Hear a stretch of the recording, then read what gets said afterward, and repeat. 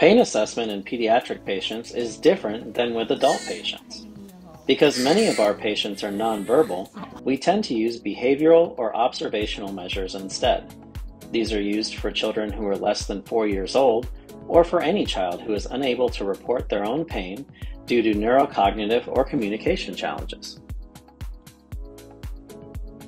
The most common pain scale used in pediatrics is the FLACC scale, which stands for face, legs, activity, cry, and consolability.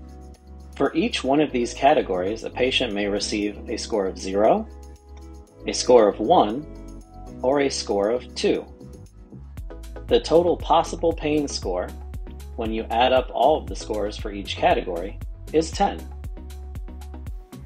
Using this patient as an example, we can see that there is no particular expression on her face.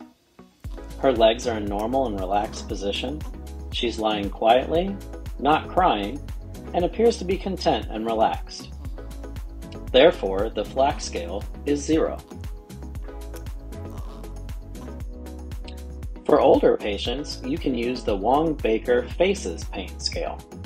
This scale uses six cartoon faces representing increasing levels of pain from 0 to 10.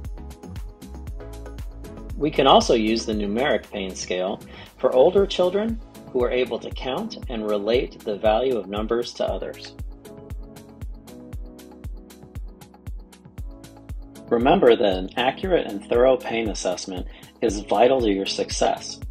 You will be practicing these skills with your clinical instructors.